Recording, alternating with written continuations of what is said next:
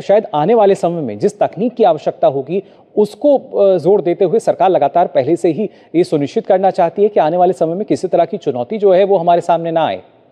बिल्कुल सही बात आपने एक्चुअली सामने लाए हैं। देखिए, नरेंद्र मोदी सरकार का जो विजन है, सबसे पहला चीज़ होता है कोई लीडर का एक दूरदृष्टि होना निहाती आवश्यक है।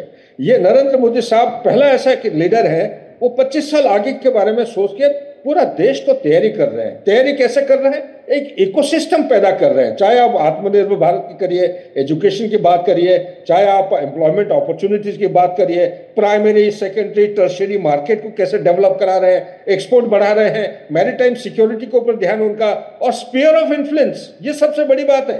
स्पेयर ऑफ़ इन्फ्लुएंस हिंदुस्तान का पहले पर्शियन गल्फ से लेके मलाका स्ट्रेट तक होता था। अभी पर्शियन गल्फ से बढ़ के चला गया है मेडिटेरियन तक। ऑफिशियली हम्म। फॉर्मली अभी तक लिखित में नहीं आ रहा है लेकिन सब अंदाज लगाएँगे।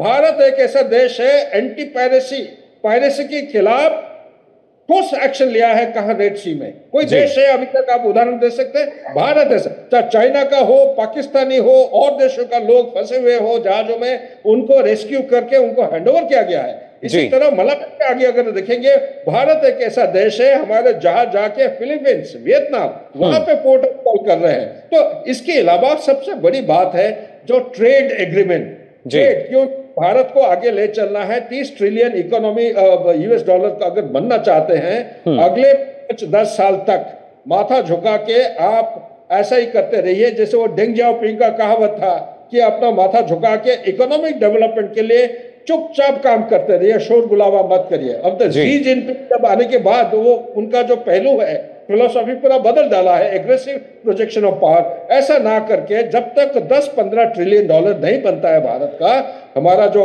जीडीपी की बात कर रहा हूँ रेट ऑफ़ ग्रोथ आपका डबल डिजिट नहीं होता है। अनएम्प्लॉयमेंट प्रॉब्लम को जब तक हम हल नहीं कर पाएँगे एजुकेशन स्टैंडर्ड दो कम से कम यूनिवर्सिटी होना चाहिए जो अंतर्राष्ट्रीय लेवल का मुकाबला कर सकता है।